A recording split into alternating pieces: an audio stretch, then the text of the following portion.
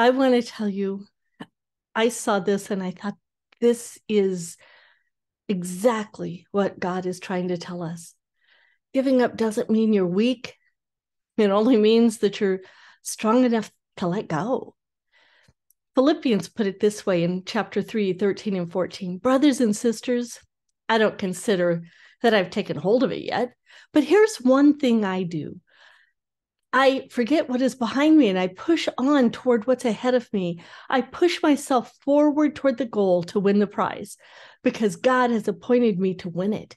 The heavenly prize is Christ Jesus Himself. A lot of these thoughts aren't original with me, but they're powerful enough. I wanted to share them because they tied to something I learned last year.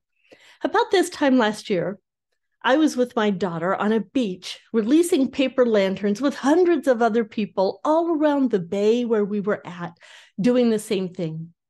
Each of us could only release our own lantern.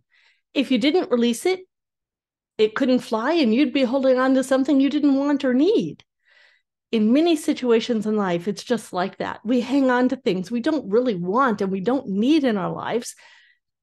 And our instinct in many situations is to fight it or to fix it or to seize control. But very often, God is asking us to do exactly the opposite. He's asking us to let go. Surrender is completely counterintuitive, at least it is for me. But that's the nature of life that's lived God's way. It runs against all of our natural instincts. But I want to remind you of something very important. Letting go isn't the same as giving up. Giving up is when that rope is torn from your bleeding hands and you just can't hold it anymore, so you quit. It's something you allow to happen by a choice of your will. God never wants to give up, uh, wants us to give up, but He does want us to let go. Letting go is an act of acceptance, an act of surrender, and it's also a part of life. Let's face it, we let go of a lot of things. To let go is to accept those things that we cannot change. It doesn't mean we approve of them or even like them, but we release them nonetheless because to not do it pulls us down.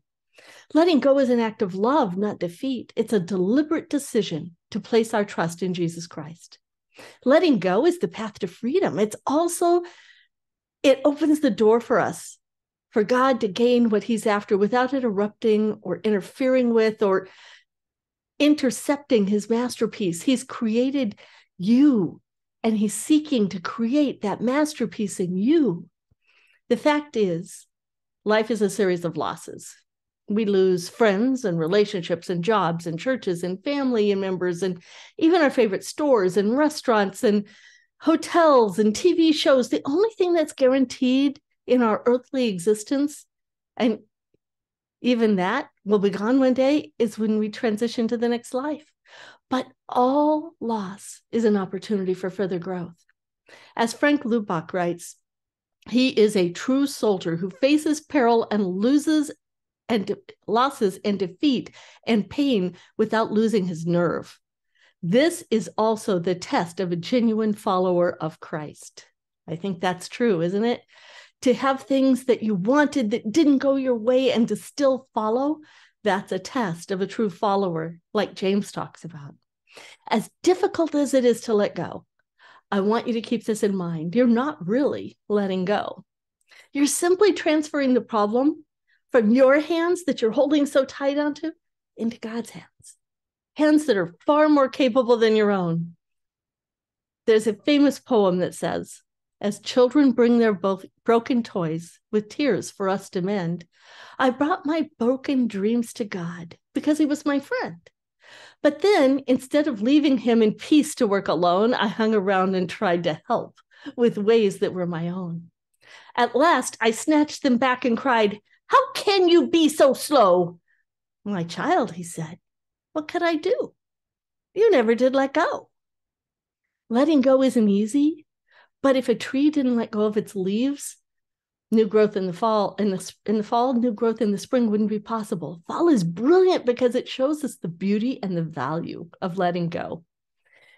In thailand new year's is about letting go of the past so that you can live into the very best future that god has for you.